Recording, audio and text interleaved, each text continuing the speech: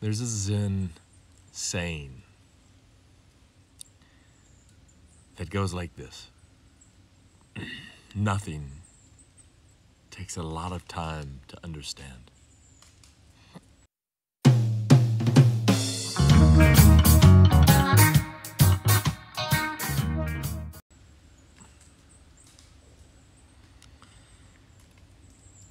Just want to greet you here from beautiful Virginia this morning, from the forest here. And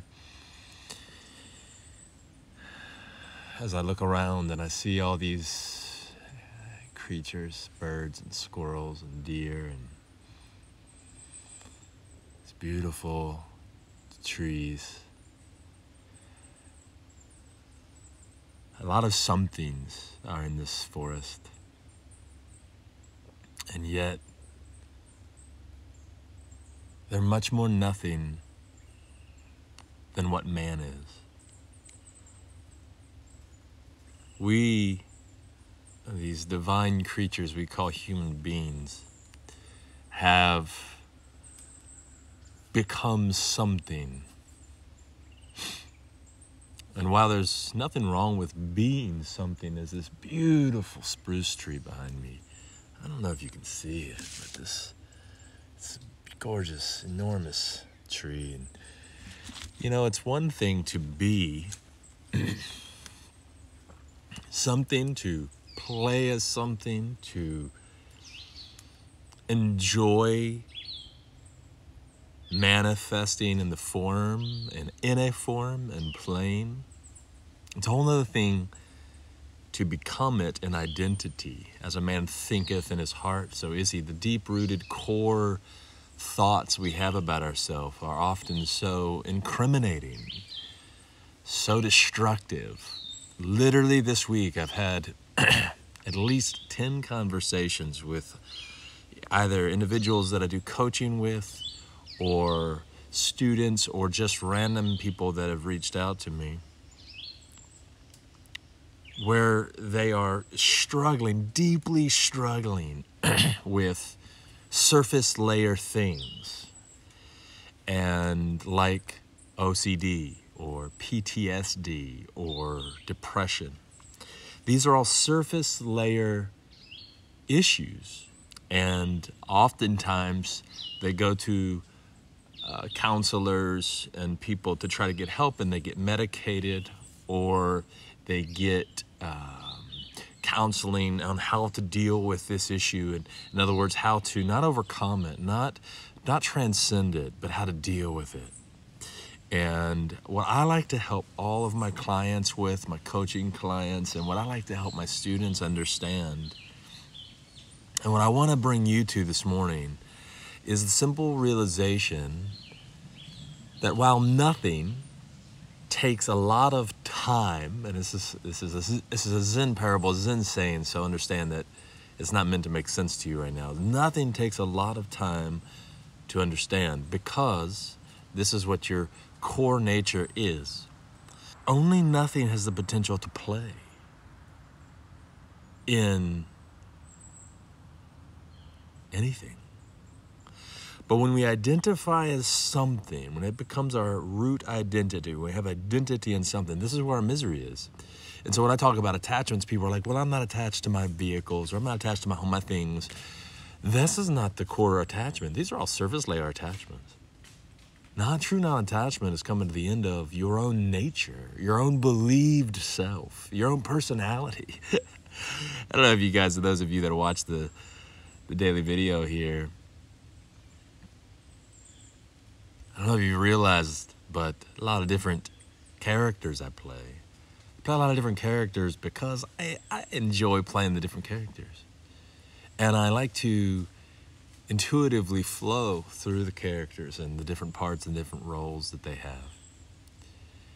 And I find this to be not only entertaining, but I find this to be creative and I find it to be invaluable and needed for the individuals that are in my life, for the people that I'm in uh, continual um, relationship with or contact with. And the reason why is because not one of your characters is good enough. Last night, you know, my daughter comes to me and she's in need of dad, a father advice. She doesn't need the guru of chill, she needs a father. And I'm playing all these characters on all these roles, and it's fun, but I'm not locked into any of them. None of them. None of what you think that I am. None of the characters. If this is the first time watching this channel and you're like, oh, you know, he's a sage. No, this is just a character. None of the characters that I play are what I am. And I know this. And so I am unoffendable. You can criticize the character all you want. It's like um, an actor playing a part. You can say, "Oh, that you know, he's not good at this." Like that's not what. It, well, that's not what I am. I'm the essence behind the scenes, rolling in and playing a part. And as long as I'm enjoying playing that part, your critique is not. It's not that it's not important. It's not that I won't listen, but your critique does not influence me in the sense or change how I feel about myself because I don't have feelings towards myself. Understand this. When you come to the end of the feelings towards yourself, you're very close, very close to transcendence. The feelings we have about ourselves, towards ourselves, are what's the that's what we believe those feelings are based upon what we believe. And when we really genuinely, authentically believe something about ourselves, whether that be a positive thing like I'm gorgeous, or whether that be some sort of negative thing like I have these flaws, all of that is a belief that is limiting. It's, it's, it's, it's criminal. And what you must comprehend right now is that you are this idea that is also believing a lot of this about yourself.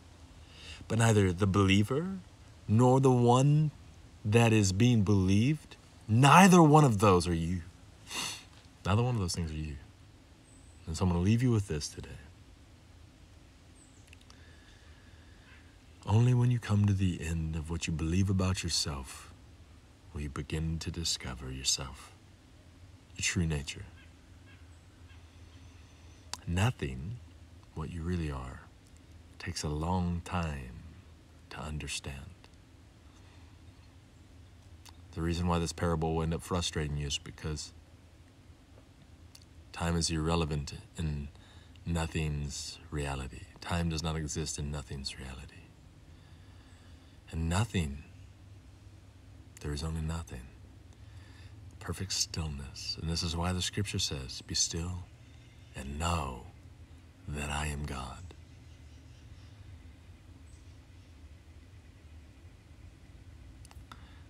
Today wasn't meant to be an encouragement to you. Today wasn't meant to be entertaining to you. Today was meant to leave you with a deep truth that your mind might not be able to fully wrap itself around. But even worse yet is the mind that says, I do understand it. The person that says, I understand who my, what my true nature is, has not even yet touched his true nature, her true nature. Because the eye that understands it, when you really touch your true nature, the eye that understands it is no more. Let go of your own understanding. In all your ways, acknowledge him, her, it, your true self. And this true self will intuitively direct your paths. I love you guys. Hope you have a beautiful day. Remember, the more you awaken to the reality of nothing, the more you play in this beautiful world.